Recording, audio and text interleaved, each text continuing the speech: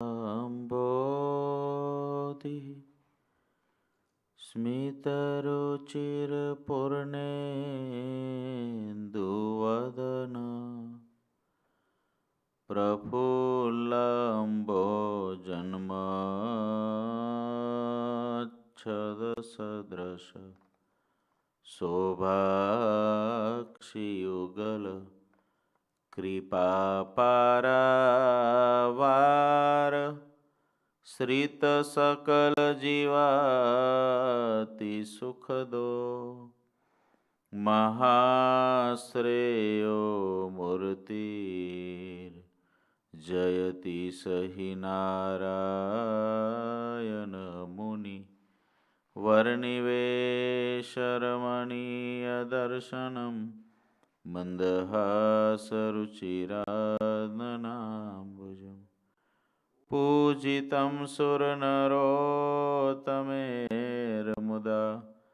धर्मनन्दनमहं चिन्तये ॐ अवतारिणे श्रीस्वामिनारायणाय नमो नमः ॐ श्रीहरिकृष्णाय नमो नमः ॐ श्रीपूर्णपुरुषोत्तमाय नमो नमः બોલો શ્રી સ્વામિનારાયણ ભગવાનની જય.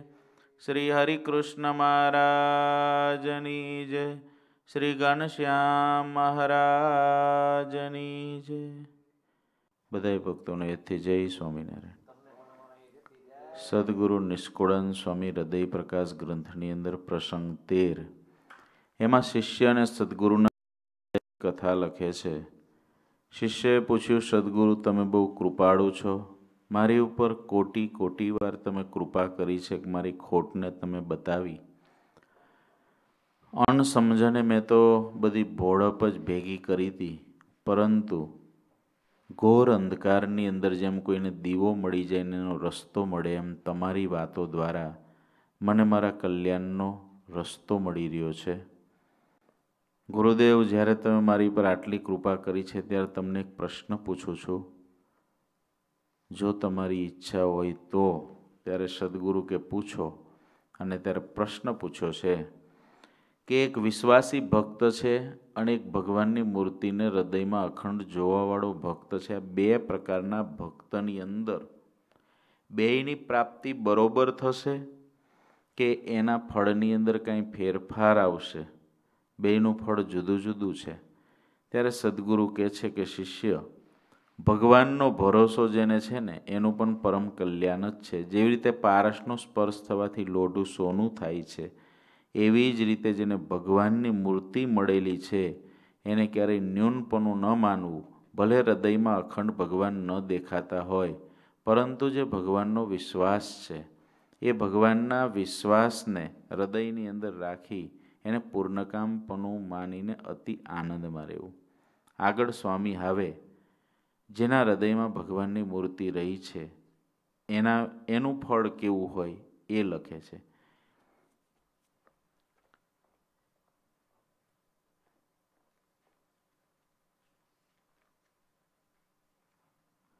હવે જેને ઉર અખંડ રહે હરિમૂર્તિ હૈયા મોજાર.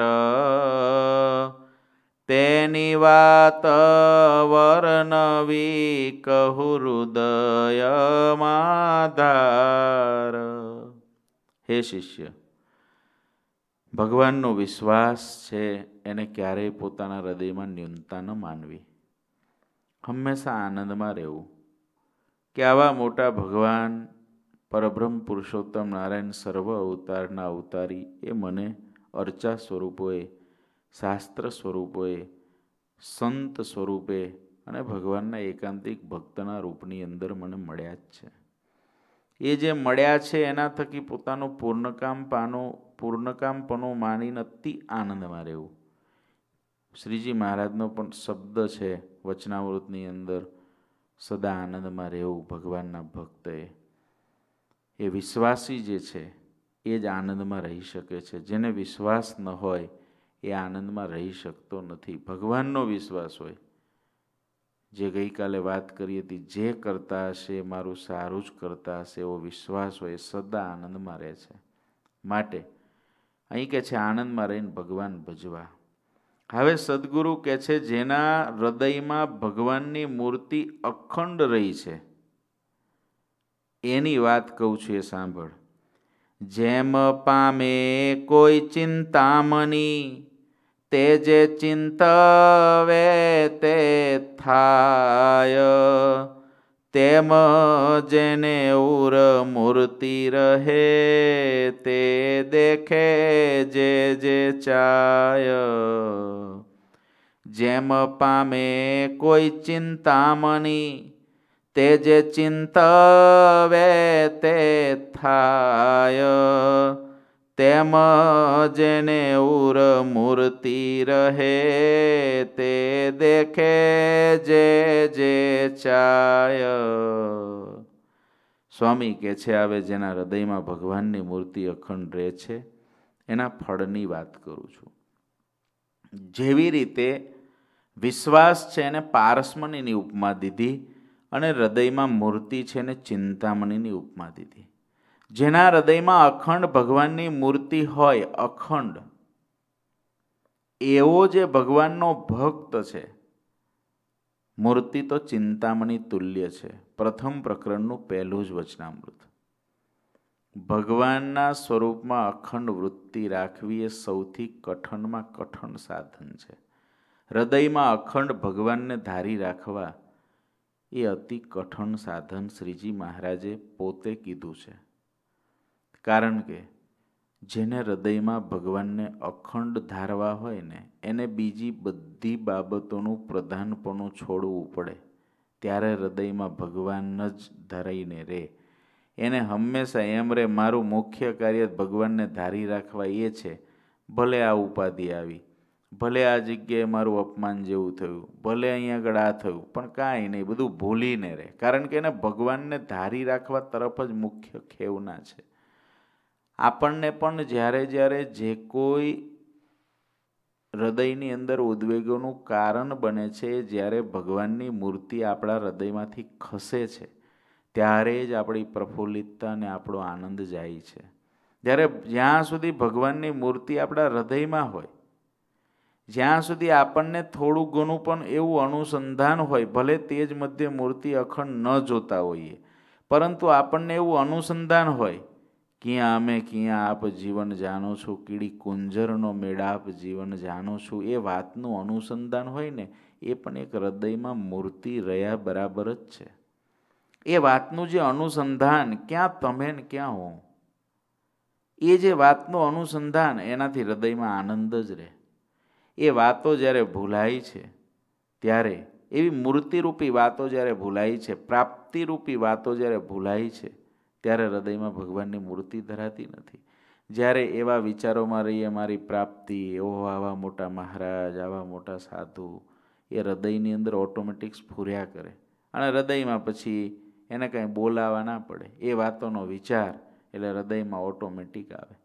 ચિંતામણી જેના હાથમાં હોય ને એ જે ચિંતવે પ્રાપ્ત થાય એમ જેના હૃદયમાં ભગવાન, ભગવાનના સ્વરૂપમાં અખંડ વૃત્તિ જેની છે, એ તો જે ધારે તે થાય, ધારે તે થાય, એ જે બોલે તે થાય, એ જે ઈચ્છે એવું એ કરી શકે કરી શકે. અને ભગવાનના એવા કેટ કેટલા સંતો ભક્તો થયા, જેની પાસે આ ચિંતામણી અખંડ હતી. આજે પણ એવા છે મોટા પુરુષો જેના હાથમાં આ ચિંતામણી છે. એટલે તો એ જે ધારે છે, એ જે વિચારે છે, એ જે બોલે છે, એ મહારાજ એમાં રહીને કરે છે. તે ઈચ્છે જો અમરાવતી કે ઈચ્છે જો કૈલાસ, બ્રહ્મલોક ઈચ્છે વૈકુંઠને તો દેખે સમીપે દાસ એવો જે છે જે ભગવાનને અખંડ ધારી રહેલો છે, એ જો સ્વર્ગને જોવા ઈચ્છે, કૈલાસને જોવા ઈચ્છે, બ્રહ્મલોકને જોવા ઈચ્છે કે વૈકુંઠને જોવા ઈચ્છે, તો તરત દેખાય. વ્યાપકાનંદ સ્વામીને મહારાજે કહ્યું કે જાઓ ભૂમા પુરુષના લોકમાં જઈ આવો. ત્યાં સ્વામી સભામાં જ બેઠા હતા. અને સ્વામી આમ આંખ બંધ કરી, મહારાજ જઈ આવ્યો. જાઓ, કૈલાસમાં જઈ આવો. સ્વામી આંખ બંધ કરી મહારાજ જઈ આવ્યો. કારણ કે એ જ્યાં ધારે ત્યાં જઈ શકે. શ્રીજી મહારાજે એકવાર વાત કરી સભાની અંદર. બધા પાર્ષદો હરિભક્તો બધા બેઠા હતા. મહારાજ કે બદ્રિકા આશ્રમમાં તો બહુ મોટા બોર થાય. વીસ વીસ કિલોના બોર થાય ને આ બોર થાય મહારાજે બધી અલૌકિક બધી વાતો કરવા માંડે ત્યારે સુરા બાપુ કે, મહારાજ, હું ગપ્પા મારો છો તમે?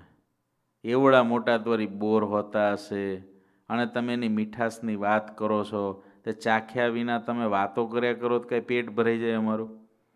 કંઈ બતાવો તો ખબર પડે.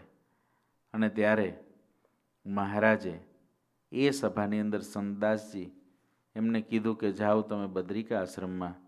અને એ પોતે બદ્રિકા આશ્રમની અંદર ગયા. ત્યાં જઈ અહીંથી મહારાજે સુખડીનું ભાથું બાંધી દીધું હારે. પછી ત્યાં પહોંચ્યા. એટલે બદ્રિકા આશ્રમની અંદર તો પહેલાં તો રસ્તા વચ્ચે પથ્થરા નદી આવી, જેની અંદર શરીર બોળે તો પથ્થર જેવું થઈ જાય. ત્યાં આગળ પછી મહારાજની મૂર્તિ સંભારી સીધા બદ્રિકા આશ્રમમાં પહોંચી ગયા. ત્યાં જઈને નરનારાયણ દેવે એમનું સ્વાગત કર્યું. નરનારાયણ દેવે કીધું કાંઈ મહાપ્રભુએ અમારી માટે પ્રસાદ મોકલ્યો છે. સ્વામી કે, આ સુખડી છે. મને દીધી હતી મહારાજની પ્રસાદીની. અને ત્યારે નરનારાયણ દેવ ત્યાં સુખડી જમ્યા. બોલો, ફળ, ફ્રૂટ જમવાવાળા તેથી સુખડી જમ્યા હતા. અને સ્વામી ત્યાં રોકાના પછી સ્વામી ત્યાંથી માન સરોવર ગયા. માન સરોવર જઈને પાછા આવ્યા રિટર્ન. સ્વામી કે, મને તો મહારાજે બોર લેવા મોકલ્યો છે. ત્યારે ત્યાંથી બોર આપ્યું. ચાર મુક્તો સ્વામીને મૂકવા આવ્યા. પછી સ્વામી માથે ઉપાડીને બોર લઈને આવ્યા. તે અડધું જ બોર લઈને આવ્યા હતા. અડધું બોર લઈને આવ્યા, જ્યારે લઈને આવ્યા ત્યારે આખી સભા આશ્ચર્યચકિત થઈ ગઈ. બદ્રિકા આશ્રમમાંથી મુક્તો મૂકી ગયા. એક ગામ નદી પાર કરાવીને એક ગામના ઝાડ નીચે સ્વામી હોતા હતા. ત્યાંથી સીધા મહારાજે ગઢપુર મૂકી દીધા અને સીધા ગઢપુર આવીને બોર મહારાજના હાથમાં દીધું. મહારાજે એની ચીર કરી કરી બધાઈને પ્રસાદી આપી. અદ્ભુતાનંદ સ્વામીએ પોતાની વાતોમાં ચરિત્ર લખ્યું કે એ જે બોરનો પ્રસાદ એ મેં પણ ખાધો હતો. આવા બધાય અલૌકિક કાર્યો જે કોઈ દિવસ શક્ય ના બને, કોઈ દિવસ કોઈની કલ્પનામાં પણ ન આવે એવું જે થયું, એ બધું ભગવાનની મૂર્તિને અખંડ ધારવાવાળા જે સંતો ભક્તો હતા, એની અંદર આવા ચમત્કાર હોય. કારણ કે મૂર્તિમાં ચમત્કાર રહેલો છે. અચરજકારી ભગવાનની મૂર્તિ છે. એટલે જેના હૃદયમાં ભગવાનની મૂર્તિ હોય ને, હે શિષ્ય, એ તો બ્રહ્મલોક જોવાને ઈચ્છે, વૈકુંઠને જોવાને ઈચ્છે તો બધું પાસે જોવે. મહારાજે પણ આ પ્રથમના પહેલામાં વાત કરી છે કે જેના હાથમાં ભગવાનની મૂર્તિ આવી, એના હાથમાં ચિંતામણી આવી, પછી જે જે લોકને જોવા ઈચ્છે, એ બધાઈને એ પોતાને સમીપે જોવે છે. શ્વેતદીપ ગોલોકને ઈચ્છે જો અક્ષરધામ દેખી દ્રગે પોતા તને માને પૂરન કામ. જોયું? એને જો શ્વેતદીપ જોવું હોય, ગોલોક જોવા હોય, અક્ષરધામ જોવા હોય, ભગવાનના કોઈ પણ ધામ જોવા હોય, તો જેને હૃદયમાં મૂર્તિ છે જોઈ શકે. પણ વાત ક્યાં આવીને અટકી? દેખી દ્રગે પોતા તને માને પૂરન કામ. એને અક્ષરધામમાં જવું હોય તો પણ જઈ શકે. આ બધું એને અલૌકિકતા દેખાઈને હૃદયમાં ભગવાનની મૂર્તિ અખંડ હોય એટલે એને ત્યાં પૂર્ણકામપણું મનાય. ઓલાને વિશ્વાસથી પૂર્ણકામપણું મનાય અને ઓલાને ભગવાનની મૂર્તિ અખંડ હૃદયમાં દેખાય છે એનાથી પૂર્ણકામપણું મનાય. પણ બે માટે શબ્દ આવ્યો. વિશ્વાસો માટે શું શબ્દ આવ્યો? જેને મળ્યા પ્રગટ પ્રભુ, તે સહુ છે પૂરણ કામ. જેને મળ્યા છે, જેને વિશ્વાસ છે કે આ ભગવાન જ છે, સર્વ અવતારના અવતારી છે, આ મહારાજ વિના બીજો ભગવાન નથી, એ પણ પોતાની જાતને પૂર્ણ કામ માને છે. અને જેને હૃદયમાં ભગવાન અખંડ દેખાય છે દેખી દ્રગે પોતા તને માને પૂરન કામ. વસ્તુ તો એટલી જ છે, વાત તો એટલી છે, પૂર્ણકામપણું મનાવવું જ્યાં સુધી જીવને અપૂર્ણપણું મનાય છે, ત્યાં સુધી જ અપેક્ષાઓ છે. જ્યાં સુધી અપેક્ષાઓ છે, ત્યાં સુધી દુઃખ છે. પૂર્ણકામપણું એને સીધું જ એના બરોબર થાય અનઅપેક્ષિતપણું. અનઅપેક્ષિતપણું, એનો સીધો જ અર્થ થાય સુખનો દરિયો. અપેક્ષા, દુઃખનો દરિયો. અનઅપેક્ષિતપણું, સુખનો દરિયો. પૂર્ણકામપણું મનાયા વિના ક્યારેય અનઅપેક્ષિત થઈ શકાતું નથી. અને પૂર્ણકામપણું ભગવાનના વિશ્વાસ અથવા તો ભગવાનની અખંડ મૂર્તિ ધારવી અથવા તો આગળ જે સાધનો સ્વામી કહેશે એના દ્વારા ક્યારેય પણ, એ સિવાય કોઈ પણ વસ્તુથી પૂર્ણકામપણું ક્યારેય મનાતું નથી. આ દુનિયાના કરોડો અબજો પતિ થવાથી પણ પૂર્ણકામપણું નથી થતું. પૃથ્વીનું રાજ્ય જેના હાથમાં આવ્યું છે, એને પણ પૂર્ણકામપણું નથી મનાનું. મોટા મોટા દેશોના રાજાઓ છે જે. આખા દેશમાં એક રાજા જેમ કે એમ જ થાય, એવા મોટા સંપત્તિના ભંડારો જ્યાં ભર્યા છે, એવા દેશોમાં આજે જે રાજાઓ છે, એને પણ પૂર્ણકામપણું એનાથી નથી મનાનું. સત્તાએ કરીને, સંપત્તિએ કરીને, રૂપે કરીને, કળાએ કરીને, વિદ્યાએ કરીને આ લોકના માન સન્માને કરીને જે કાંઈ પૂર્ણકામપણું કદાચ કોઈને મનાનું હોય, એનો ભ્રમ હોય છે, જેદી તેદી એનું પૂર્ણકામપણું જ્યાં સુધી કૂવાના દેડકા સમાન છે, ત્યાં સુધી એને પૂર્ણકામપણું મનાય છે. જ્યારે દુનિયાને જોવા નીકળે ત્યારે એને ખબર પડે કે મારા કરતાં તો હજુ લાઇનમાં ઘણાય ઊભા છે. એક શેરીની અંદર ઝૂંપડા બાંધીને રહેતા લોકો હોય, ત્યાં કોઈને પચીસ લાખનું ઘર બાંધીને રહેતો હોય, જ્યાં ઝૂંપડા હોય ત્યાં. એને એમ લાગે કે, ઓહો, હું આખા ગામમાં નાખી શેરીની અંદર, હું જ છું કંઈક. પણ એ શહેરમાં જાય ને, તો એના કરતાં મોટા કરોડ કરોડને બે બે કરોડના બંગલાની સોસાયટીઓ પડી હોય. એવાને લાગે કે, ઓહો, અમારા હાથમાં બહુ છે. પણ એ જ્યારે મુંબઈ જેવા મોટામાં જાય ને, ત્યાં ફ્લેટ લેવા જાય ને, તો ખબર પડે કે આ પચાસ કરોડનો ફ્લેટ છે. ઓહો, કરોડ કરોડના ફ્લેટ છે.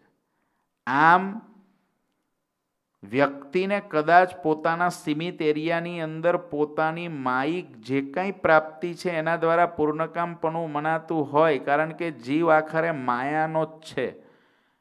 માયાનો છે, ભગવાનનો તો કરવાનો છે. એટલે એને તો શું થાય, માયાનું કાંઈક મળે એટલે પૂર્ણકામપણું મનાઈ જાય. સારી ડીશ મળે જમવાની, એટલે જીવને શું થાય? હાશ. સંતોષ. પણ એ એક જ ટાઈમ ભાઈ, પાછું બીજા ટાઈમે તો અપૂર્ણપણું થવાનું જ. જે કાંઈ ભગવાનના સંબંધ સિવાયનું પૂર્ણકામપણું મનાય છે, બધું જ અપૂર્ણ છે.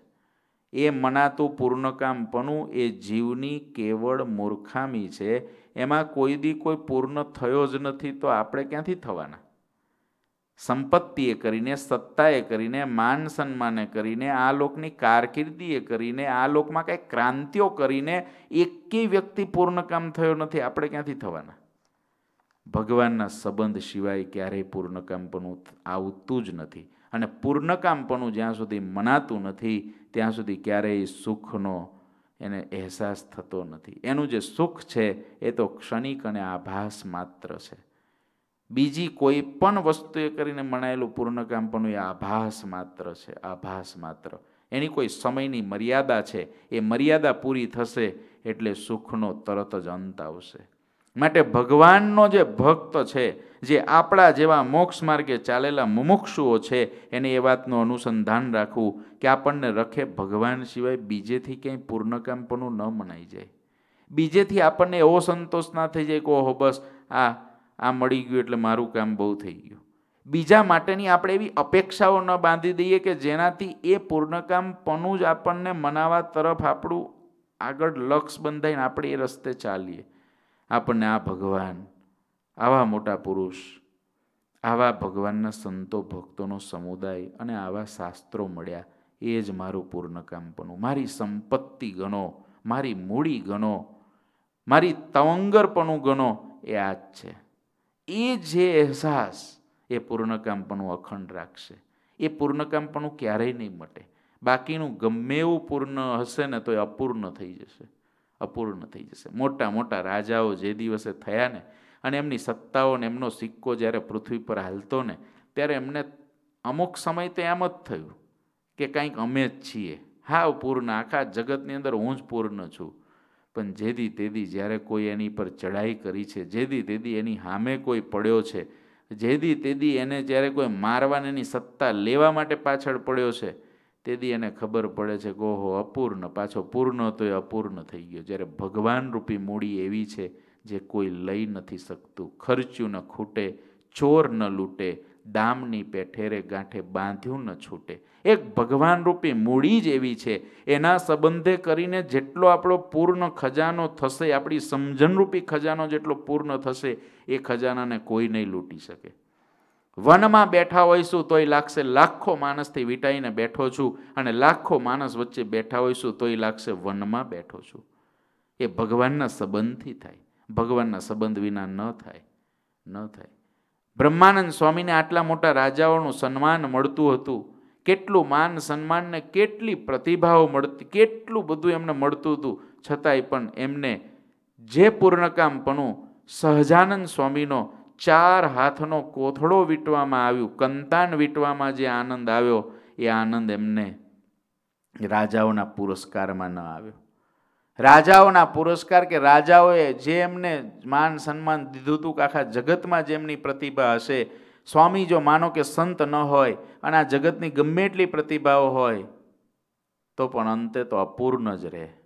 એ મોટા પુરુષો પણ એમના જીવનથી આપણને સમજાવે છે કે આ લોકની કોઈ પણ સિદ્ધિથી ક્યારેય પોતાને પૂર્ણ ન માનવું. એ સિદ્ધિને મેળવવા માટે પોતાનો પૂર્ણ સમયગાળો ન નાખી દેવો. પોતાના જીવનના કિંમતી શ્વાસો, સંપત્તિ અને સત્તાઓ એ મેળવવા પાછળ. આ જગતની અંદર આપણી કાંઈ ગણના થઈ જાય એ કરવા પાછળ. એટલો બધો સમય ના વેડફી નાખીએ. કે જે ખરેખર સંપૂર્ણ અને પૂર્ણ એવા પરમાત્મા છે, એનો સંબંધ છૂટી જાય. આ મુમુક્ષુ, માત્ર મારે ને તમારે ધ્યાન રાખવું જોઈએ. પૂર્ણકામપણું એટલે કે ભગવાનના સંબંધે સહિત જે છે, એમાં જ પૂર્ણપણું મનાય છે. ભલેન રોટલોને રોટલો છાશ ખાતો હોય ભલેન રોટલોને ભાજી વઘાર્યા વિનાની ખાતો હોય તો એ પૂર્ણકામપણું મનાયેલું હોય ને, સદાય આનંદમાં હોય. કોઈ દી દુઃખ ના હોય. અને ઓલાને એસી ત્રણ બાજુ મૂક્યા હોય ને બે બે ટનના, તો એ સુખ ના હોય, તો એ અપૂર્ણ હોય. કહો. આપણે પૂર્ણકામપણું મનાઈ જાય, તો સવારના અગિયાર વાગે દાદા ઊંઘ આવી જાય, ઘસઘસાટ. એ પૂર્ણકામપણું મનાઈ ગયું. તમે કેમ કહેતા હતા કે અહીં આવ્યા ત્યારે ઊંઘ નહોતી આવતી પહેલાં? રાતે તો ઊંઘ આવે જ નહીં દિવસે આમ થાય, પણ હવે કેવી ઊંઘ સરસ આવી જાય? શું મનાઈ ગયું? પૂર્ણ કામ પણ આવા મહારાજ, આવા સાધુ, આવો સત્સંગ, બસ. હવે તો આ ખોડામાં ઊંઘ્યા કરીએ ને, તોય પૂર્ણ. જાગીએ તોય પૂર્ણ અને ઊંઘીએ તોય પૂર્ણ. મહારાજના ખોડામાં મહારાજના સંબંધે કરીને છે બધું આપણું નથી. આપણે તો અપૂર્ણ જ છીએ, પણ ભગવાનથી, ભગવાનના મોટા પુરુષોથી પૂર્ણ થવાય. દેખી દ્રગે પોતા તને માને પૂર્ણ કામ. ભગવાનના સંબંધથી પોતાને પૂર્ણ કામ માને. વડી રે વાસીએ ધામના તેહને દેખે તેહ. અગમ ન રહે એહને જુએ ચિંતવી જે હ એવા જે ધામોના રહેવાસીઓ છે, એને દેખે છે અગમ ન રહે એને જુએ ચિંતવી જેહ. જે કોઈ ધામના મુક્તોને પણ જોવાને ઈચ્છે તો એને દેખાય. એને અગમ ના હોય. હૃદયની અંદર જેને ભગવાનની મૂર્તિ અખંડ રહે ને એને આ બધું થાય. પણ એવું ના કરવું કે આવા મુક્તોને જોવા માટે મારે હૃદયમાં મૂર્તિ ધારવી છે. અક્ષરધામાદિક ધામોને જોવા માટે મારે હૃદયમાં અખંડ મૂર્તિ ધારવી છે, એવો સંકલ્પ ના કરવો. મહારાજ કે તો સકામ ભક્ત છે, સકામ ભક્ત છે. જે ધામ આદિકની જોવાની ઈચ્છા કરે, જ્યાં સુધી એ મને નથી દેખાયું આ અક્ષરધામાદિક ધામો નથી દેખાયા તે જ નથી દેખાયું. ત્યાં સુધી હજુ મારું કલ્યાણ થયું નથી, આવું જે માનતો હોય ને મહારાજ કે એના મુખેથી વાતે ના સાંભળવી. પણ આવા ભગવાન મળ્યા છે, હું પૂર્ણ કામ થયો છું. બતાવવું ના બતાવવું એની એની મરજી છે. બાકી હું, મારી ફરજ પ્રમાણે હૃદયમાં અખંડ એમને ધારી રાખવા માટે મહેનત કરું છું. પણ એ મહેનત કરું છું એ પેલા ધામ જોવા માટે નહીં.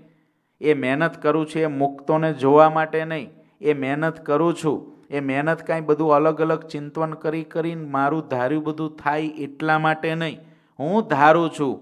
એ તો એટલા માટે ધારું છું, હૃદયમાં એ મૂર્તિને અખંડ ધારવા એટલા માટે ઈચ્છું છું કે મૂર્તિ હૃદયમાં અખંડ જો જણાયા કરે, તો અખંડ એ મૂર્તિના સુખની અંદર ડૂબ્યો રહો. એ મૂર્તિના સુખમાં જે ડૂબ્યા છે એ બધાઈને રાત ને દિવસ અહો અહો અહો થયા કરે છે, એવું મને પણ વર્ત્યા કરે. એના માટે મારે હૃદયમાં મૂર્તિ ધારવી છે. નહીં કે એને ચિંતામણી છે એટલે બધું ચિંતવન કરવા. નહીં તો હમુકી મૂર્તિ જાય. બીજું બધું ચિંતવન કરવામાં તો મૂર્તિ જતી રહે. આ મૂર્તિ અખંડ નથી દેખાતી, તોય જો બીજું ચિંતવન કરીએ છીએ તો હાવ મૂર્તિ ભૂલાઈ જાય છે ને જતી રહે છે. તો મૂર્તિ ધારી રાખ્યું એને બીજું ચિંતન કરીએ ને એવું ધાર્યું થવા લાગે. ધાર્યું થવા લાગે, જેમ વિચાર્યું એમ થવા લાગે, તો મૂર્તિમાંથી વૃત્તિ ખસી જાય. એ તો પર્વતભાઈ જેવાને પકડાઈ રહે, વ્યાપકાનંદ સ્વામી જેવાને પકડાઈ રહે, કે એને મૂડી ના છૂટે, બધું દેખાય તોય. આપણે તો કાંઈનું કાંઈ થઈ જાય. કે સ્વામી કે બેહકી જાય, કાં ગેલો થઈ જાય, વાતોમાં કીધું એમ થાય. જો જોવા ઈચ્છે મુક્તને તો દેખે મુક્ત મંડળ. સ્વર્ગ, મૃત્યુ પાતાળમાં ન રહે કોઈ અકળ. આ સ્વામી ફળ બતાવે છે કે જેને હૃદયમાં મૂર્તિ દેખાય છે અખંડ, એને કદાચ સ્વર્ગમાં જવું હોય, એને પાતાળની અંદર શું છે એ જોવું હોય, કોઈ પણ મુક્ત મંડળોને જોવું હોય તો એ જોઈ શકે, એની માટે કાંઈ અકળ ના હોય. જેમ આપણે એકાબીજાને ફેસો ફેસ જોઈ શકીએ છીએ, એકાબીજાનો અવાજ સાંભળી શકીએ છીએ, એવી જ રીતે એને બધું દેખાય. આપણને ના દેખાય ને એને દેખાય. એટલે આપણને આશ્ચર્ય લાગે. આપણને આશ્ચર્ય લાગે. એવા ભગવાનના મુક્તો, ભગવાન ઈચ્છા કરે, એની એવી મહેનત હોય, ભગવાનને સદગુરુની કૃપા હોય, તો ભગવાનની ઈચ્છા થકી એવું થાય છે. પરંતુ આવું બધું જોવા માટે ભગવાનની મૂર્તિ નથી ધારવાની. એ વાતનું અનુસંધાન રાખો. પૂર્ણ કામ પણ મનાય એટલે મૂર્તિ અખંડ ધારવા મહેનત કરવાની. જોઈ છે જોવા અવતારને દસ ચોવીસ અનંત. તો નિરખે સૌ નજરે આવે સુખ અત્યંત. જો એ દસ અવતાર કે ચોવીસ અવતારને જોવાને ઈચ્છે તેને નજર સમીપે આવી જાય. પર્વતભાઈને સંકલ્પ જ્યાં થયો, શાસ્ત્રની અંદર કથા મોજૂદ છે કે નૃષિ અવતાર કેવો હશે? જ્યાં આટલો સંકલ્પ થયો, ત્યાં તો તેજ મધ્ય ભગવાન સ્વામિનારાયણની મૂર્તિ ને ત્યાં આગળ ચોવીસ અવતારો મૂર્તિમાંથી પ્રગટ થયેલા દર્શનને પાછા મૂર્તિમાં લીન થયા. પર્વતભાઈ આ દ્રશ્ય જોયું. પણ આ અનુભવ કોને થાય છે? જેના હૃદયમાં ભગવાનની અખંડ મૂર્તિ છે. એ ચોવીસ અવતારને જોવા ઈચ્છે તો એને અવતારો પણ દેખાય. અવતારો પણ દેખાય. કેવો હશે? બસ સંકલ્પ થઈ ગયો. ત્યાં તો તરત જ જે સંકલ્પ કર્યો તો એવું થાય. જેના હૃદયમાં ભગવાનની મૂર્તિ છે ને, અખંડ ધારી રાખેલી છે ને, એ જે સંકલ્પ કરે ને થાય. હવે સંકલ્પ કરે ને થાય તો એવા મોટા પુરુષો કેવા હોય? જો એ સંકલ્પ કરે કાંઈ બોલે એમ થાય. તમે કહો હો તમે સંકલ્પ કર્યો તો ને થઈ ગયું. જો તમે બોલ્યા હતા ને થઈ ગયું. ત્યારે મોટા પુરુષો શું કે જે થયું તે શ્રીજીની સામર્થે બીજા થકી તે કાંઈ ન થાય. થાલ્યો, ફોલ્યો, ફોગટ ફૂલાય. જે થયું તે શ્રીજીની સામર્થ્ય થયું, ભાઈ. ગોપાળન સ્વામીએ જે ધાર્યું એ થયું. લોકોએ કીધું, સ્વામી, તમારાથી થયું. ના, મારાથી શું થાય? થાલ્યો ફૂલ્યો, ફોગટ, ફૂલાય. મારે ફૂલાઈને કામ શું છે? જો મૂર્તિરૂપી ચિંતામણી મારી પાસે ન હોય, તો કદાચ ગમે એટલું ચિંતવન કરું, તો પણ ન થાય. એ તો મૂર્તિરૂપી ચિંતામણી છે, એટલે થાય છે. આ મૂર્તિની અંદર આટલી તાકાત છે. એવું છે. આ લોભ જગાડે છે, એટલે મૂર્તિ બાજુનું ખેંચાણ થાય. એમ એને અંતરે વર્તે સુખ અપાર. એને આવી રીતે ભગવાનની મૂર્તિ હૃદયમાં રહી છે, એના કારણે અને એને એવા અલૌકિક અનુભવો થયા કરે, એના કારણે શું થાય? એમ એને અંતરે વર્તે સુખ અપાર. તે પ્રતાપ પ્રગટ પ્રભુનો જન જાનો નિર્ધાર. મોટો પ્રતાપ મહારાજનો જીભે કયો ન જાય. અસામર્થી એમાં નથી જે હદારે તે થાય. ભગવાનનો એવો મોટો પ્રતાપ છે, હે શિષ્ય, જે ધારે થાય. અસામર્થી ભગવાનમાં કોઈ પ્રકારની નથી. પણ, આવે સાંભળ, જે અગત્યની વાત છે, તને કહું છું. પણ જેમ જેને રાખ્યું ઘટે, તે હને રાખે તેમ. માટે સુખદ સૌના કહીએ દુઃખદ કેમ? હવે તને આ હૃદયમાં ભગવાનની મૂર્તિ અખંડ ધારે એની મેં વાત કરી, પણ તું સાંભળ. સદગુરુ કે છે શિષ્યને જેમ જેને રાખ્યું ઘટે, જેને જે પ્રકારથી રાખવો ઘટે, એવી રીતે ભગવાન સ્વયં એને રાખે છે. કારણ કે સુખદ સૌના એ બધાઈને સુખ આપવા માટે જ સહુજનને કરવા છે. સુખી રે, નથી રાખવા કોઈને દુઃખી રે. એવું ના કીધું કે મારે ખાલી મુક્તોને સુખી કરવા છે. એમ ના કીધું મારે ભક્તોને સુખી કરવા. ત્યાં સુધી સહુજનને કરવા છે સુખી રે. બધાને સુખી કરવા છે. અને કયું સુખ આપવું છે? આ સુખ આપવું છે. મૂર્તિના સુખ, ભગવાનના સંબંધનું સુખ, એ આપવું છે. એના દ્વારા મળતું પૂર્ણકામપણું પૂર્ણકામપણામાં મળેલું સુખ એક, એ આપવું છે. માટે સુખદ સૌના કહીએ દુઃખદ કેમ? ભગવાનને દુઃખદ કેમ કહેવાય? એ ભગવાને જેને જે જે આપ્યું છે ને, એ બરાબર વિચારીને આપ્યું છે. એમ જાની જન મનમાં રાખે વડો વિશ્વાસ. મેલી ગમતું મનનું થઈ રહે હરિદાસ. ભગવાન ક્યારેય પણ કોઈને દુઃખ થાય એવું દેતા નથી, માટે ભગવાને મને જે દીધું છે એ બરાબર દીધું છે. મને વિશ્વાસનું અંગ દીધું છે તો એ સારું છે. હું હૃદયમાં અખંડ મૂર્તિ ધારવાના પ્રયત્નમાં છું મારી ઉપર કૃપા ઉતરી કે મને અખંડ મૂર્તિ દેખાય છે, તો એ ભગવાને મને સુખ દેવા દીધું છે. પણ કોઈને ભગવાનની મૂર્તિ અખંડ હૃદયમાં દેખાય છે. બધાને મૂર્તિ તો ભગવાનની હૃદયમાં દેખાતી જ હોય, પરંતુ જેને અખંડ દેખાય છે, એ પાત્ર મૂર્તિ બાબતમાં નોખું છે. જેને અટૂટ વિશ્વાસ છે વિશ્વાસ બાબતે એ ભગવાનનો ભક્ત બીજા ભક્ત કરતાં નોખો છે. પણ દરેકને ભગવાન અલગ અલગ કંઈક આપે. એટલે કોઈ દિવસ બીજાનું જે અંગ હોય, એ અંગને જોઈ અને આપણે આપણે અપૂર્ણપણું ના માનવું કે મારે હજુ આટલું અપૂર્ણ છે. હા, મૂર્તિને ધારવાનો પ્રયત્ન દરેકે કરવો જોઈએ. પરંતુ ભગવાને આપણને જે અંગ આપી રાખેલું હોય, જે અંગ, કે જે અંગમાં રહીને આપણે ભગવાનની ભક્તિ સારી રીતે કરી શકીએ, એ અંગ આપ્યું છે એનાથી પૂર્ણકામ પણ હું માનું ભગવાને આટલું તો મને દીધું જ છે ને. જો અહીં કહેશે આગળ. એમ જાની જન મનમાં રાખે વળો વિશ્વાસ, મેલી ગમતું મનનું થઈ રહે હરિદાસ. પોતાના મનનું ગમતું છોડીને ભગવાનનો દાસ થઈ રહે ને ભગવાનનો વિશ્વાસ રાખે. વૈદ જેમ બહુવિધિએ આપે ઔષધ અનેક. સહુરોગીને સરખું ઔષધ હોય એક. ડૉક્ટર પાસે જઈએ. તો ત્રણ દર્દી ગયા હોય, તો બધાની દવા એક સરખી જ લખી દે. દરેકને જુદી જુદી લખે. વૈદ પાસે ગયા હોઈએ, તો વૈદ પાસે ગયા હોય ને, રોગ એકનો એક હોય ને, માની લો કોઈને પેટનો હોય, પેટમાં ગરબડ, પેટમાં ગેસ કે કોઈને બીજો કોઈ પ્રોબ્લેમ હોય. તો વૈદ એની પણ દવા કરે ને તો એની વાત પિત્ત કે કફની પ્રકૃતિ કઈ છે? જે દવા વૈદની આ વ્યક્તિને લાગુ પડે એ બીજાને ન લાગુ પડે તેની માટે થોડો ફેરફાર કરે. એની માટેની દવા જુદી કરે. એક રોગ હોય તો પણ બે વ્યક્તિ માટે એની પ્રકૃતિ જોઈને દવા થતી હોય તો એવી રીતે વૈદ્યને વિવિધ પ્રકારની દવા આપવી પડે. રોગીને એવી રીતે બધાય માટેનો ઔષધ એક ના હોય, ભગવાન પણ દરેકને અલગ અલગ અંગ આપે છે. અને એ અંગમાં રહીને ભક્તિ કરે તો એનો રોગ જાય. સમાધિ સખા સ્નેહનું દાસ વિશ્વાસનું અંગ મહાત્મ્ય મિત્ર વચન વળી ભક્તિ ભજન અભંગ.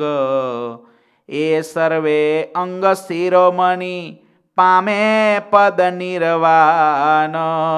અધિક ન્યૂન એમાં નહીં સમજી લે તું સુજાન. હવે શિષ્યને સદગુરુ કે છે, બરાબર આ વાતને સમજજે. કોઈને સમાધિનું અંગ હોય કોઈને સખાનું અંગ હોય, મિત્ર ભાવે ભગવાનની સાથે ભક્તિ કરવી. કોઈને સ્નેહનું અંગ હોય, કોઈને દાસનું અંગ હોય, કોઈને વિશ્વાસનું અંગ હોય, કોઈને ભગવાનના મહાત્મ્યનું અંગ હોય અને કોઈને ભગવાનના ભજનનું અંગ હોય. દરેકને અંગ જુદા જુદા હોય.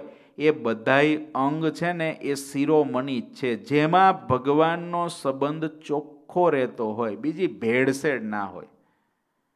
એ જે અંગમાં રહીને ભક્તિ કરીએ છીએ, એમાં કોઈ ભેળસેળ ના હોય. બીજા કોઈ સંકલ્પ, વિકલ્પ એના દ્વારા કાંઈ કશું જ નહીં. ભગવાન રાજી થાય. ભગવાનમાં જોડાવાય. ભગવાનનો સંબંધ અખંડ રહે. એવા આશયથી જે અંગ છે, એ અંગમાં બિલકુલ અધિક ન્યૂન નથી. એ અંગની અંદર બીજા આશયો જો ભળે, એ અંગની જેટલી શુદ્ધતામાં કસર, એટલી કસર બાકી જે અંગ આપણું હોય ભગવાનનું આપેલું હોય. એ અંગ આપણે પાડવું હોય તોય ના પડે. હા, પડે છે. કેટલાક અંગ જે આપણા સારા ન હોય, એ જે કોઈ ભગવાનના ભક્તમાં એવું અંગ છે, એના દર્શન કરવાથી, એના એ પ્રસંગ વિચારવાથી, એનો સમાગમ કરવાથી, એની કૃપાએ કરીને એ અંગને પમાય છે. પરંતુ આપણે બધાએ મુમુક્ષુ છીએ તો ભગવાને કોઈક આપણું અંગ આપણને ગિફ્ટમાં આપેલું જ હોય.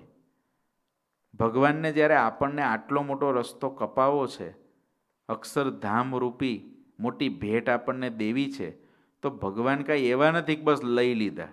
લીધા પછી પણ આપણને કંઈક ને કંઈક એ ઉપરથી બધું કરે. આ અમેરિકા દેશમાં સિટીઝન કરવા હોય છે, તો સો પ્રશ્ન આપે છે ને? સો પ્રશ્ન તમારે તૈયાર કરીને આવા. હવે માની લો, એમને સિટીઝન કરવા છે એટલે તો સો પ્રશ્નો બહાર પાડ્યા છે, નહીં તો એવું પૂછ, એવું કરી દે. કે અમે તો ગમે ત્યાંથી તમને અમેરિકા સંબંધી પ્રશ્ન પૂછીશું. આ સો જ પ્રશ્ન એવું નહીં. તો કેટલા સિટીઝન થાય? અમે ગમે ત્યાંથી તમને પ્રશ્ન પૂછીશું. અમે તમને જ્યારથી આ દેશ થપાયો ત્યારથી માંડીને આજ દિવસ સુધીની કોઈ પણ ઘટનાને કોઈ પણ વાત પૂછીએ, ભલે ઇતિહાસોનું પૂછીએ, એમાં ફિક્સ કરે કે ઇતિહાસોનું પૂછીશું. તો જેટલા સિટીઝન થાય છે ને માનો વર્ષની અંદર પાંચ લાખ બહાર પડતા હોય બે લાખ બહાર પડતા હોય તો દસમા ભાગનો રેશિયો થઈ જાય. પણ એ શું કહે છે? આ સો પ્રશ્નમાંથી પ્રશ્ન પૂછીશું. છે ને? તો સો પ્રશ્નમાંથી પ્રશ્ન પૂછે, એને નક્કી છે કે ભાઈ આને કરવો છે. પણ તું કમસે કમ આટલું તો કર. એમ. ભગવાનને અક્ષરધામના અનાદિ મુક્ત આપણને કરવા છે એટલે ખાલી કાંડું જાલીને લઈ લે એટલું નહીં. ભગવાન લીધા પછી સદગુરુના સાનિધ્યમાં આપણને કોઈ વિશેષ એક અંગ પણ બંધાવે છે. આપણે મુમુક્ષુ છીએ એટલે.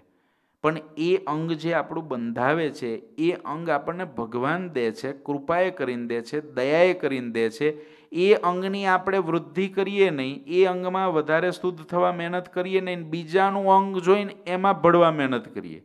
આપણને જે દીધું છે દરેક વ્યક્તિએ પોતાના અંગને ઓળખીને એમાં રહીને ભક્તિ કરવી. શ્રીજી મહારાજ કહે છે અંત્યના પંદરમામાં, મહારાજ કહે છે પાટો ગોઠિયાનું વચનામૃત.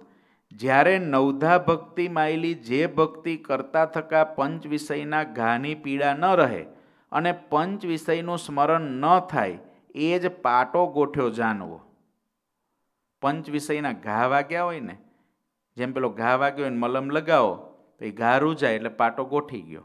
એવી રીતે પંચ વિષય શબ્દ સ્પર્શ રૂપરસ સંબંધી જે ઘા વાગ્યા હોય, એ ભગવાનનો ભક્ત જ્યારે ધ્યાન ભજન કરવા બેસે, ત્યારે એને બધા પંચ વિષયના ઘા છે ને બધા આડા આવે. પણ જે ભક્તિ કરવાથી આપણને બધું જે પંચ વિષયના ઘાની રૂજ આવી જાય, એ પોતાનું અંગ જાણવું અને એ જે અંગ છે, એ અંગમાં રહીને માનસી પૂજા કરવી, નામ સ્મરણ કરવું જે કરવું એ પોતાના અંગમાં રહીને કરવું તો અતિશય સમાસ થાય. અને જો પોતાના અંગને ઓળખે નહીં, તો જેમ ઘાયલનો પાટો ગોઠે નહીં, જેવી રીતે બેભાન માણસ હોય, તેનો ઘા કોઈ દી રૂઝાય નહીં અને સુખ ન થાય, તેમ ભજન સ્મરણમાં કોઈ રીતે સુખ ન થાય. અને પંચ વિષયના જે ઘા એને લાગ્યા હોય, તેની પીડા ટળે નહીં. માટે નવધા ભક્તિમાંથી જે ભક્તિ કરતે કે પોતાનું મન ભગવાનમાં ચોટે અને ભગવાન વિના બીજો ઘાટ કરે નહીં, ત્યારે એ હરિભક્તને એમ જાણવું, મારું તો એ જ અંગ છે. અને એ જાતની ભક્તિને પ્રધાન રાખવી. બીજી ભક્તિ ના કરવી એવું નહીં. કોઈને કીર્તનનું અંગ છે તો એને ધ્યાન ન કરવું એમ નથી. બીજી ભક્તિ કરવી તો પડે જ. એને કથા ન સાંભળવી એમ નહીં. એ તો એને કરવું જ પડે. પરંતુ મુખ્ય એને જે પોતાનું અંગ છે એ રાખવું. અને એ અંગ તો વ્યક્તિએ પોતે ઓળખવું પડે કે મને કઈ વાત, હું શું કરું છું ત્યારે મારા હૃદયની અંદર પરમ શાંતિ થઈ જાય છે. બીજું કાંઈ સ્મૃતિમાં નથી આવતું. શું કરું છું? એ તો દરેકના અંગ જુદા જુદા હોય. દરેકને ભગવાને દીધેલું જુદું જુદું હોય.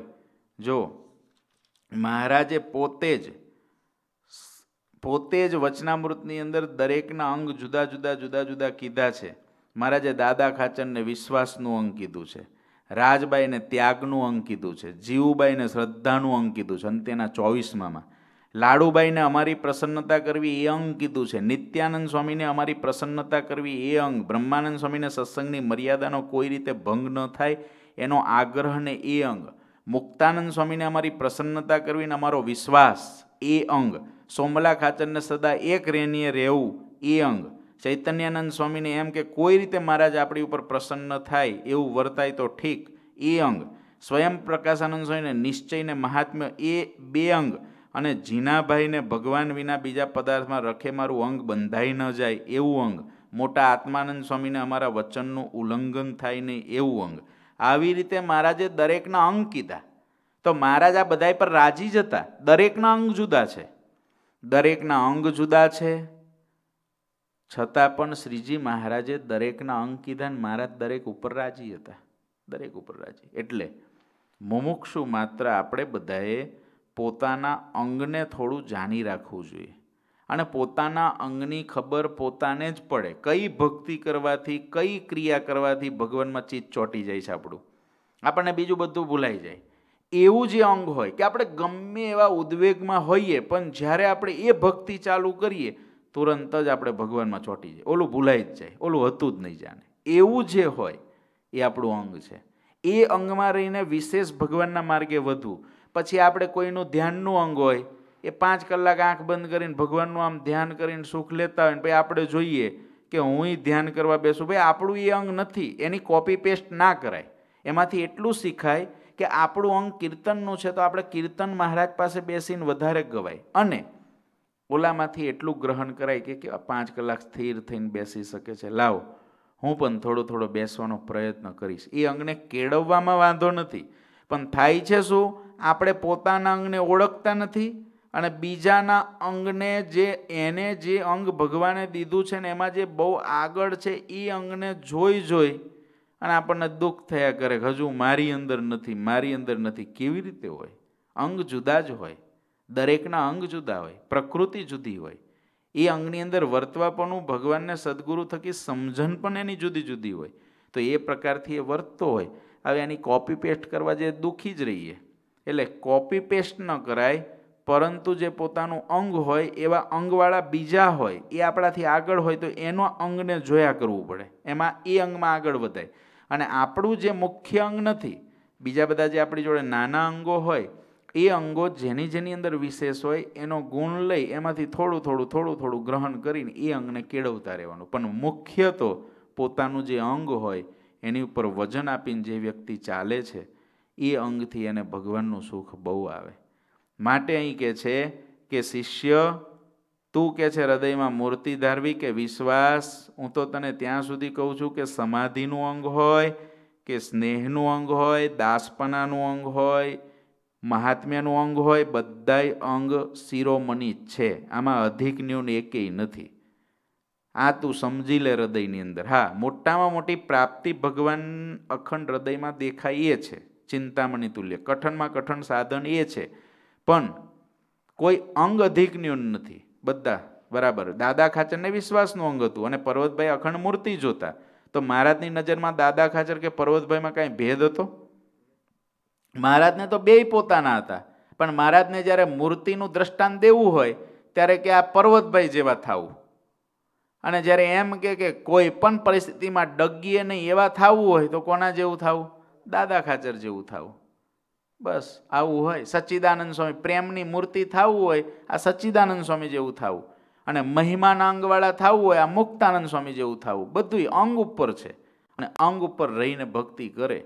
એ બરાબર છે. એટલે બધા અંગ આપણે હંડ્રેડ પર્સન્ટ કરી દઈએ એવો કોડ ના રાખો જે અંગ આપણી અંદર ભગવાને સહેજે દીધું હોય એમાં રહીને આપણે ભક્તિ કરીએ તો સુખી રહીએ. પ્રગટ પ્રભુ મળ્યા પછી ઓછપન માનવી અંગ સહુ સરખું પામશે અખંડ સુખય ભંગ. પર્વતભાઈ અખંડ મૂર્તિને જોતા અને દાદા ખાચરને વિશ્વાસનું અંગ હતું. એનો અર્થ એનો હતો કે મૂર્તિ નહોતા જોતા. મૂર્તિ તો હતી. પણ પર્વતભાઈને જેટલું મૂર્તિ, અખંડ મૂર્તિમાં જેટલું પ્રધાનપણું દાદા ખાચરને એટલું વિશ્વાસનું અંગ પ્રધાન.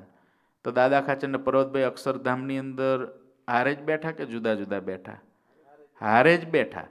પ્રગટ પ્રભુ મળ્યા પછી ઓછપના માનવી અંગ.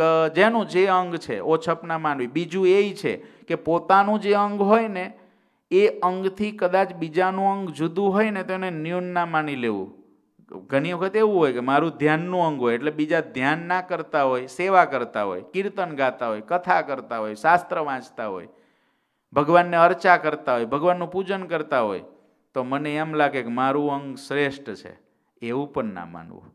જેનું જે અંગ, જેમાં જે અંગમાં રહીને જે ભક્તિ કરે છે મહારાજે એમને એ અંગ દીધું છે, મને આ અંગ દીધું છે. જે અંગ દીધું હોય એમાં રહીને સુખ ભોગવો. અને કોઈ દિવસ મારા અંગવાળા જ બધા થઈ જાય એવો આગ્રહ ના રાખો. એ થાય જ નહીં કોઈ દિવસ. કારણ કે મારા જેવું જ અંગ બધાનું થઈ જાય, એવું કોઈ દી આગ્રહ ના રાખાય. થાય નહીં. ભગવાનનું આપેલું એનું જુદું હોય, એની પ્રકૃતિ જુદી પ્રકારની હોય, એનું એનું ઔષધ જુદી પ્રકારથી હોય, મારા જેવું દીધું હોય. માટે ભલે અંગ કદાચ આપણું કોઈ સાથે ન મળતું હોય ને એનું અંગ જુદું હોય, તો પણ એના શ્રેષ્ઠ અંગને વંદન કરવા. કે ભલે, મારું અંગ આવું છે. મુક્તાનંદ સ્વામીનું મહિમાનું અંગ હતું. તો સ્વામીએ ખીચડી જમાડી દીધી. પેલા બ્રાહ્મણથી ખાલી ઠાકોરજીને ધરાવેલી ખીચડી મિક્સ થઈ ગઈ હતી. મહારાજે નિયમ આપેલો રસકસનો. તો હવે સ્વામીને થયું કે આ ખીચડી જો બધી નાખી દેવી પડશે, તો આટલા સાધુય ભૂખ્યા રહેશે ને આ બ્રાહ્મણ સત્સંગમાં આવતો હશે, તૂટશે. તો સ્વામીએ ખીચડી જમાડી. આત્માનંદ સ્વામીને ધર્મનું અંગ હતું. ભગવાનની મર્યાદા તૂટે જ નહીં. તો એ કે હું ના જમું? આમાં ખીચડી છે, પણ એક ચમચી છે મુક્તાનંદ સ્વામી બધાને ખવડાવ્યું જૈન મહારાજને ફરિયાદ કરી, મહારાજ આવું થયું, મુક્તાનંદ સ્વામી આવું. મુક્તાનંદ સ્વામી કે કઈ વાંધો? મુક્તાનંદ સ્વામી મહારાજે બોલાવ્યા, મહારાજ મુક્તાનંદ સ્વામી કે સ્વામી આવું થયું? સ્વામી કે હા મહારાજ, મેં વિચાર્યું કે આ સાધુઓ ભૂખ્યા હતા. એક બાજુ પર પેલા બ્રાહ્મણનો ભાવ તૂટે એવો હતો, એટલે બેયનો સમન્વય રહે એટલે મેં આવો વચગાળાનો ઉપાય કર્યો. મહારાજ એમ નહીં ભેટ્યા આત્માનંદ સ્વામી નહીં ભેટ્યા, કે આત્માનંદ સ્વામીને કેવી દ્રઢતા, કે અમારું વચન ના લોપ્યું. અને મુક્તાનંદ સ્વામીની કેવી વિશાળતા કે એમને સત્સંગના બે પાત્રોને સાચવી લીધા. મહારાજ બે પર રાજી થયા. પણ મુક્તાનંદ સ્વામી કે આત્માનંદ સ્વામીને એકાબીજા પ્રત્યે એમ ના થયું કે મેં કીધું તો એ કેમ ના જમ્યા? અને આત્માનંદ સ્વામીને એમ ના થયું કે કેમ મુક્તાનંદ સ્વામી જમાડી દે? બસ એમણે ખાલી મહારાજને કીધું, મહારાજ, આવું થયું હતું એ સહેજે કીધું હતું એવી કોઈ ફરિયાદના રૂપમાં નહોતું કીધું.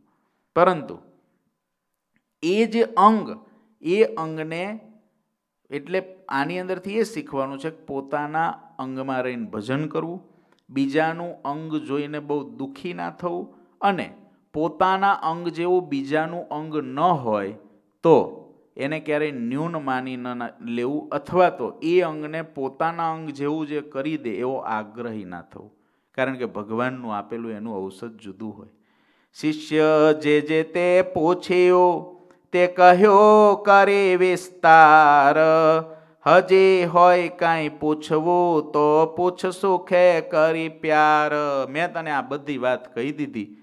હવે તારે કાંઈ બીજું કાંઈ પૂછવું હોય તો તો પૂછ. પૂછ કરી બહુ પ્યાર સંકતજીને શિષ્ય સુખે. મકર સંકોચ લગાર કરજે, પ્રશ્ન પ્રગડ થઈ. કરજે પ્રશ્ન પગડ થઈ. તારે જે કાંઈ પ્રશ્ન પૂછવો હોય નિધડક થઈને પૂછજે સદગુરુ કે. હવે તારું આટલી બધી મુમુક્ષુતા જોઈ એટલે મને બહુ આનંદ થાય છે તને કહેતા. તારે જે કાંઈ પૂછવું હોય પ્યારથી, પ્રેમથી, શંકા તજીને તારે જે પૂછવું હોય એ પૂછજે. ઇતિ શ્રી હૃદય પ્રકાશ મધ્ય સદગુરુ શિષ્ય સંવાદે ત્રયોદશ પ્રસંગ, તેર પ્રસંગ પૂર્ણ થયા છે.